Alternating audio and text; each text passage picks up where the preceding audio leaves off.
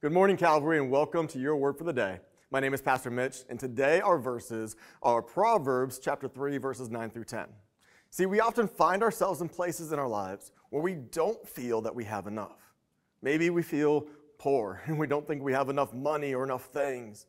Or we feel lonely and we don't think that we have enough relationships, or we don't have enough people who are encouraging us in our lives.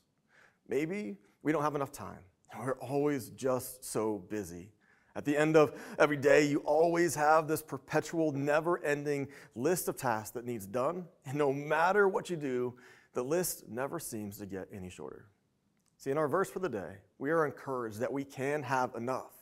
And that having more than enough is not only possible, but that it is relatively simple.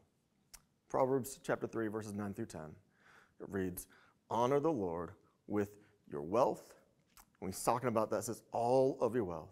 And with your and by, by wealth, the Bible here means your possessions, all that you have. So honor the Lord with all of your wealth, your possessions, and with the best part of everything that you produce. Then he will fill your barns with grain, and your vats with over or, or your vats will overflow with good wine.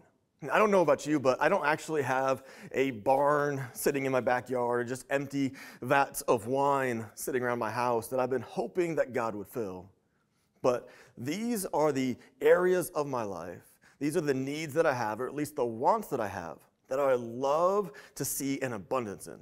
See, I would love to have more money so that I could afford to put more away into securing my family's financial future, or maybe even to purchase a few fun toys.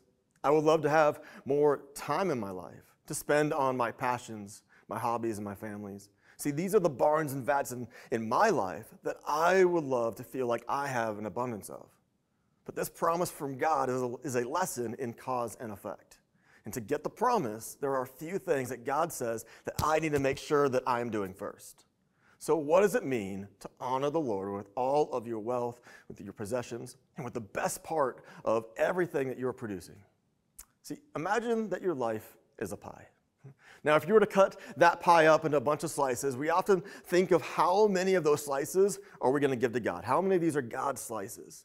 And this mindset says if I cut up this pie into 10 slices, then God gets his 10%, and I keep the rest, and I'm good.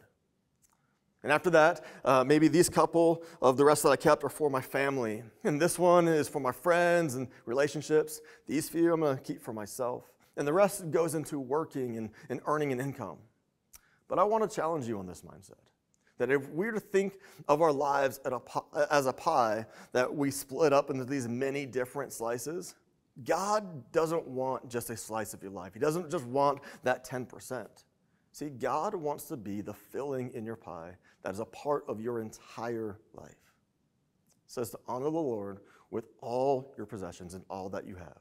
Give him your best, and he will make sure that the vats and the barns in your life are always full.